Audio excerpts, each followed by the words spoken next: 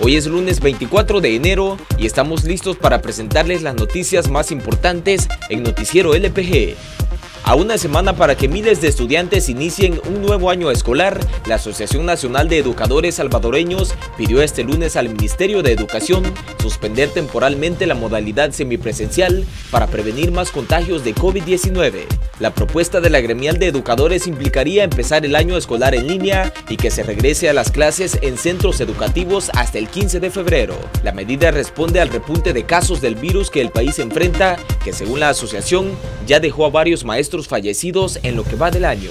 El presidente del Colegio Médico Milton Brizuela define como una reacción tardía del gobierno salvadoreño la falta de información oportuna sobre la cuarta ola de contagios de COVID-19 que afecta al país. El especialista mostró su preocupación respecto a la atención médica de casos sospechosos que según él son diagnosticados por otras enfermedades virales y la incapacidad es muy corta, representando un riesgo de mayor contagio. Asimismo, debido a la falta de educación sobre la vacunación y medidas para tratar personas infectadas con nuevas variantes, ha provocado un repunte de más de 600 casos en un solo día, cifra registrada la semana pasada, convirtiéndose en el número más alto en toda la pandemia en el país. Proyecciones matemáticas apuntan que el descenso de los casos en esta cuarta ola de contagios podría comenzar a ocurrir durante la segunda o tercera semana de febrero.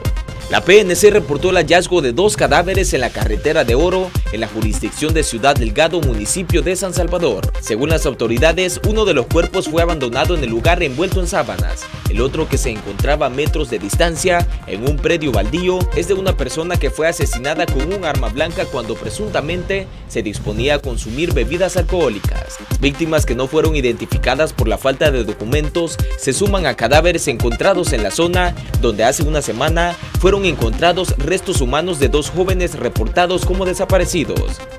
Los comerciantes afectados por el incendio del mercado San Miguelito continúan ofreciendo sus productos en galeras desde que el pasado 22 de septiembre de 2021 las llamas consumieran su lugar de trabajo. Los afectados aseguran no saber nada sobre la reconstrucción o construcción de un nuevo establecimiento prometido por Mario Durán, alcalde de San Salvador. La mayor preocupación de los comerciantes es la época lluviosa, por lo que esperan que las autoridades les den una pronta solución a su problemática. Gracias por informarse una vez más a través de este espacio informativo.